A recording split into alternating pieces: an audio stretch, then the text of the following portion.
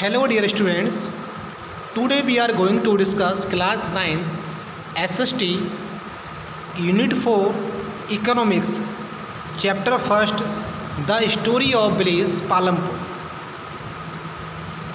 today topic is topic number second is there a way is there a way one can grow more from the same land क्या कोई ऐसा रास्ता है कि same ज़मीन से ज़्यादा फ़सलें उगाई जा सकें, ज़्यादा प्रोडक्शन लिया जा सके। इससे पहले हमने पढ़ा था कि फ़सलें कितने सेक्शन होते हैं, कितने सेक्शन में फ़सलें उगाई जाती हैं और कौन कौन सी फ़सलें उगाई जाती हैं। और हमने लैंड के बारे में पढ़ा था लैंड फिक्स लैंड जो एक फिक्स कैपिटल होती है। तो हमारा आज का क्वेश्चन है, आज का टॉपिक है is there a way one can grow more from the same land क्या कोई एक व्यक्ति, कोई भी व्यक्ति सेम ज़मीन से ज़्यादा प्रोडक्शन प्राप्त कर सकता है।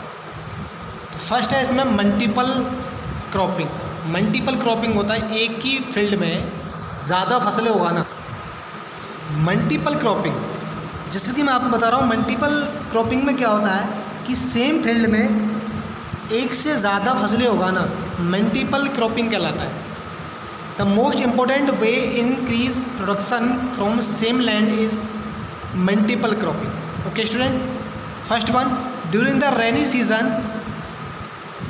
in kharif farmers can grow jowar and bajra These plants can be used as a cattle feed.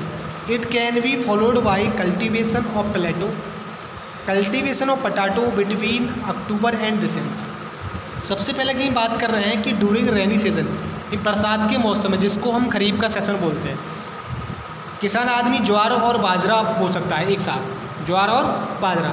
ये जो प्लांट्स होते हैं, ज्वार और बाजरा मोस्टली पशु के चारा खिलाने के काम में आते हैं, चारे के काम में आते हैं। It can be followed by cultivation ये कल्टिवेशन का मतलब होता है खेत की जुताई वगैरह करके ये पैदा किए जाते हैं। और पटाटो, ये पटाटो के खेत में मतलब टमाटर के खेत में मतलब आलू के खेत में, पटाटो मीन्स होता आलू। आलू के खेत में ये अक्टूबर और नवंबर में बोए जाते हैं। ये आलू खेत की जुताई करके, जो आलू की फ़सल होती है, उसकी जुताई करने के बाद हम क्या कर देते हैं, जो गर्मी बारिश का मौसम आता है, उसमें ज्वार और बाजरा बो देते हैं। Number two in the winter season मतलब विंटर सीज़न मतलब रवि, जो रवि का सेशन में मैंने पीछे बताया था पिछली वीडियो में। Farmer can grow wheat peas gram और mustard these crops are produced for sale consumption as well as for market भाई विंटर सेशन में किसान क्या कर सकते हैं? किसान अपने खेत में गेहूँ, मटर, चना और सरसों बो सकता है। चार पाँच फ़सलें जो विंटर के सेशन में हो जाती हैं। These crops are produced for self consumption ये जो फ़सलें होती हैं, खुद के उपभोग के लिए, उपभोग के लिए पैदा की जाती हैं। और इनको जितनी सरप्लेस होती है as well as for the market और मार्केट में बेचने के लिए भी इनका यूज़ होता है। भाई वीट गेहूँ है, गेहूँ हमारे जितना हमारा कंजप्शन में आएगा, उसको हम उतना स्टॉक में रख लेंगे, उससे ज़्यादा जो सरप्लस सरप्लस है, उसको मार्केट में आके बेच देते हैं। For example farmer sell the surplus wheat to the private traders as well as to the government agencies like Food Corporation of India किसान भाई क्या करते हैं? जो हमारे किसान लोग होते हैं, जो सरप्लस अनाज होते हैं, जैसे कि वीट है, गेहूँ है, उसको एक प्राइवेट जो ट्रेडर्स होते हैं, जैसे गाँव गाँव जाके जो लोग खरीदते हैं या जो प्राइवेट आड़त होती है, आपने देखी होंगी, वहाँ जाके बेच देते हैं। या फिर जो गवर्नमेंट आड़त होती है जिसको बोलते हैं हम फ़ूड कॉरपोरेशन ऑफ़ इंडिया वहाँ जाके बेचते हैं। जो सरकारी आड़त होती है, सरकारी जो गोदाम्स होते हैं, वहाँ जाके किसान अपने गेहूँ को बेच सकते हैं, या जो प्राइवेट ट्रेडर्स होते हैं मतलब जो प्राइवेट आड़त होती हैं जैसे गाँव में होती हैं, कुछ लोग जो गाँव में घूम घूम कर अनाज खरीदते हैं, उनको बेच देते हैं और पैसा कमा लेते हैं। Some farmers also grow grow sugar cane which is harvested once year कुछ लोग गन्ना पैदा करते हैं, जिसकी खेती साल में सिर्फ़ एक बार होती है। Sugar cane in its raw from is sold to sugar sugar mills which are run by the cooperative cooperative गन्ने की कच्ची फ़सल को किसान लोग गन्ना मिल में जाके बेच देते हैं, जो सिर्फ़ जो गन्ना मिल किसी कॉपरेटिव मतलब किसी संस्था के द्वारा चलाए जाते हैं। The main reason why farmer are able to grow three different crops in a year is due to the well development system of irrigation which become possible because of electricity नहीं एक ही सेशन में कम से कम तीन फ़सल उगाने के लिए किसान क्यों उगा, कैसे उगा सकता है?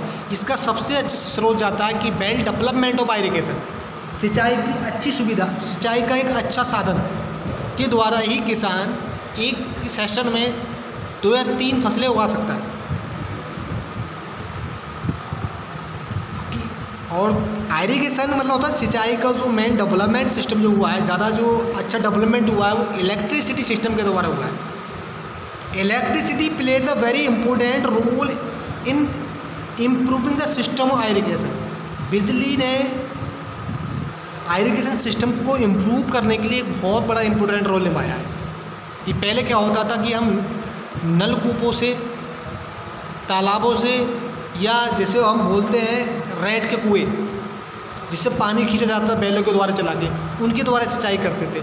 और उनसे अच्छी फ़सल नहीं हो पाती थी कि हम सिंचाई ज़्यादा अच्छी तरह से नहीं कर पाते थे। तो साल में एक सीज़न में सिर्फ़ एक ही फ़सल उगा पाते थे। लेकिन जब से इलेक्ट्रिसिटी का सिस्टम हुआ है, इलेक्ट्रिसिटी ने जो है आयरिगेशन सिस्टम को एक लार्ज स्केल पर चेंज कर दिया। Okay students due to electricity the Persian wheels run by animals were replace by modern tubewells बिजली के कारण जो पर्सियन व्हील्स थे पर्सियन व्हील्स तो बैलों को द्वारा चलाए जाते थे पानी मतलब पानी खींचने के लिए। उनकी जगह आज के टेबुलों ने लिए, जो टेबुल्स आज के नलकूप हैं, उन्होंने ले लिए, जो बिजली से चलते हैं। पहले क्या होता था? गाँव में बैल्स होते थे ट्यूबवेल्स होते थे उनको बैलों के द्वारा या ऊँट के द्वारा उनको चलाया जाता था, तब ज़मीन से पानी निकलता था, कुएँ से पानी निकलता था, उससे सिंचाई करते थे किसान। लेकिन इलेक्ट्रिसिटी ने इनका सिस्टम क्या चेंज कर दिया। इलेक्ट्रिसिटी के माध्यम से टेबुल्स चलाते हैं टेबुल्स के ज़्यादा पानी देते हैं और कम समय में ज़्यादा आयरिगेशन करते हैं। The modern tubewells the modern tubewells can irrigate much larger areas of land more effectively और जो मॉडर्न टेबुल्स हैं, वो कम समय में बहुत ही अच्छी तरीके से ज़्यादा क्षेत्र को आयरिगेट करते हैं मतलब ज़्यादा क्षेत्र की सिंचाई कर देते हैं। Electricity has also played an important role in the modernisation of agriculture as a farmer started using thresher and other machines electricity ने और भी बहुत से has also played an important role in the modernisation agriculture और electricity ने कृषि में भी बहुत से आधुनिक बदलाव किए हैं। जैसे कि farmer started using thresher and other machines जैसे कि किसान ने थ्रेसर और दूसरी मशीनें भी चलाना शुरू कर दिया। तो आई हो आपकी समझ में यहाँ तक आया होगा। मल्टीपल क्रॉपिंग का मतलब ये होता है कि एक ही सीज़न में रेनी सीज़न हो, या फिर विंटर सीज़न हो, जैसे बोल सकते हैं खरीफ सीज़न रवि सेशन, इन सेशन में एक समय में ज़्यादा फ़सलें उगाना, उसको हम मल्टीपल क्रॉपिंग बोलते हैं।